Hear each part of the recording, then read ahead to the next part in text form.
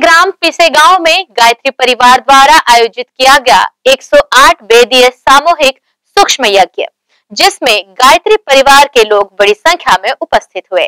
दुर्ग के ग्राम पीसे गाँव में गायत्री परिवार के द्वारा 108 वेदी सामूहिक सूक्ष्म यज्ञ का आयोजन किया गया। बसंत पंचमी के पावन अवसर पर आध्यात्मिक प्रयोग के रूप में आयोजित किए गए।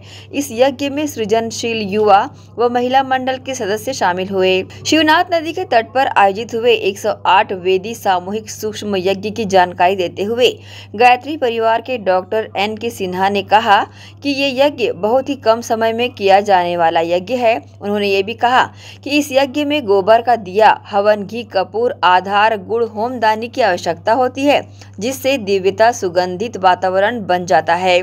गौरतलब है कि दुर्ग भिलाई उप जोन द्वारा संचालित नित्य सूक्ष्म यज्ञ गृह गृह अभियान को गति देने एवं नए याजकों को प्रशिक्षित करने का भी उद्देश्य रखा गया। बसंत पंचमी को परम पूज्य गुरुदेव पंडित श्री राम शर्मा आचार्य जी का आध्यात्मिक जन्म दिवस को बौद्ध दिवस के रूप में भी मनाया गया। वहीं इस 108 वेदी सामूहिक सूक्ष्म यज्ञ में मुख्य रूप से डॉक्टर एन के सिन्हा, प्राणेश विश्वास मीनाक्षी विश्वास, रमाकांत देशमुख, राजकुमार साहू व प्रेमलाल देशमुख के साथ बड़ी संख्या में गायत्री परिवार के लोग मौजूद रहे।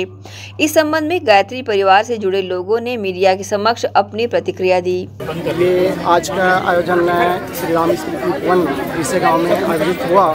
108 कुंडों के माध्यम से सूक्ष्म यज्ञ को विस्तार देने के लिए हमने ये प्रारंभ किया है। सबसे पहले परम पूज्य गुरुदेव पंडित श्री राम शर्मा आचार्य माता भगवती शर्मा की सूक्ष्म प्रेरणा से हमारे मन में विचार आया। अभी अभी कोरोना काल है इसलिए हम घर घर नहीं जा सकते। तो हमें यज्ञ को विस्तार देना है। तो यज्ञ को विस्तार कैसे कर सकते हैं? इसके लिए योजना बनी कि सूक्ष्म यज्ञ को हम मोबाइल के माध्यम से भी करा सकते हैं। उनको बता सकते हैं। और ये जो है फिर उप जोन के माध्यम से इसमें योजना बनी। आदरणीय श्री सिंह साहब जी हैं याद जी हैं, हमारे जिला समन्वयक आदरणीय श्री लोकनाथ भैया जिनके सभी के विचार से यह योजना बनी है कि सूक्ष्म यज्ञ को हमको अधिक से अधिक घरों में पहुँचाना है, ताकि हमारा छत्तीसगढ़ ही नहीं, पूरे भारत में फैल जाए यह सूक्ष्म यज्ञ है और विश्व कल्याण। आप सभी भाइयों बहनों का हार्दिक अभिनंदन करता हूँ। भाइयों बहनों, विगत पाँच वर्षों से हम लोग सूक्ष्म यज्ञ नामक एक ऐसे अभियान में लगे हैं जिसके द्वारा घर घर गायत्री और यज्ञ को पहुँचाया जा सकता है।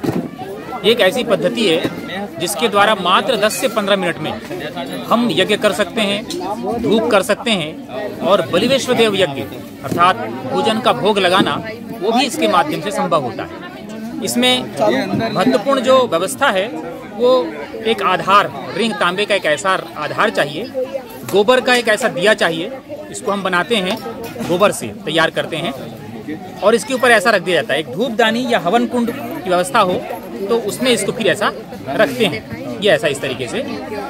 रखने के पहले धूपदानी में तीन फूल बत्तियाँ घी में या नारियल तेल में डुबा करके हम यहाँ रखते हैं। उसको प्रज्वलित करके फिर ये रख देते हैं। रखने के पहले ये हम गोबर का जो दिया है, उसको भी नारियल तेल में या गौघृत में डुबा करके हम रखते हैं। लगभग एक से डेढ़ मिनट में ये प्रज्वलित हो जाता है और प्रज्वलित होने के पश्चात हम आहुतियाँ दे सकते हैं। इसके साथ में कुछ कर्मकांड जुड़े हुए हैं, जैसे कि पवित्रीकरण है आचमन है, आवाहन मंत्र है, ये सब कर्मकांड विस्तृत रूप से इसका वीडियो डॉक्यूमेंट्री बना करके हम रखे हैं।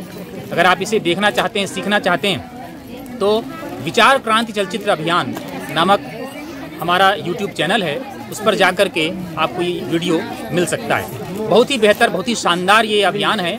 आप इस यज्ञ को करने के पश्चात प्राणायाम करें, पाँच सात मिनट प्राणायाम करें, तत्पश्चात आप ध्यान करें, पाँच दस मिनट आप ध्यान करें। बहुत ही बेहतर प्रयोग है मन को बड़ी शांति मिलती है। इस अभियान को घर घर पहुँचाने के लिए हमने ब्रह्म, ब्रह्मभोज किट भी तैयार किया है, जिसमें गोबर की ये दस दिया है। एक तांबे का आधार है, हवन सामग्री है, और उपयोग कैसे करें उसका विधि पत्रक है। सब मिलाकर के एक सौ का सामान होता है, लेकिन जन जन तक पहुँचे इसलिए हमने इसमें काफ़ी छूट कर दी है। ब्रह्मभोज मूल्य में इसे उपलब्ध करा रहे हैं, अर्थात मात्र सौ रुपये में उपलब्ध करा रहे हैं। सूक्ष्म यज्ञ केंद्र, बघेरा दुर्ग में ये उपलब्ध है। और गायत्री परिवार के जितने संस्थान हैं शक्तिपीठ है उजाला भवन जो हमारे दुर्ग में पूजा का बड़ा दुकान है वहाँ भी ये उपलब्ध है। सेक्टर सिक्स गायत्री मंदिर में भी उपलब्ध है। और यदि आप चाहें तो बघेरा में आकर के भी ले सकते हैं। और ये सारी चीज़ें बनाने का ट्रेनिंग इसको उपयोग करने का ट्रेनिंग विधिवत हम देते हैं। सूक्ष्म यज्ञ बहुत सरल से सरल कैसे कर सकते हैं? कुछ कर्मकांड जोड़ करके चौबीस कर्मकांड वाला पंद्रह से बीस मिनट वाला सूक्ष्म यज्ञ भी आप कर सकते हैं। इसका पूरा प्रशिक्षण हम देते हैं।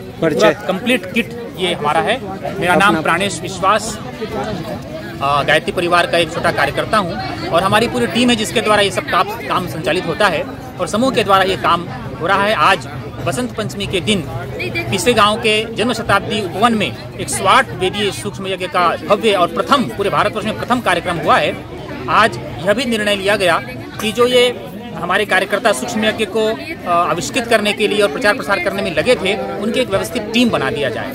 तो सूक्ष्म यज्ञ प्रचार प्रकोष्ठ के नाम से इस टीम को बनाने का, विधिवत संचालित करने का निर्णय लिया। ग्रैंड एशियन न्यूज़ के लिए दुर्ग सेना सिंह फारूकी की रिपोर्ट।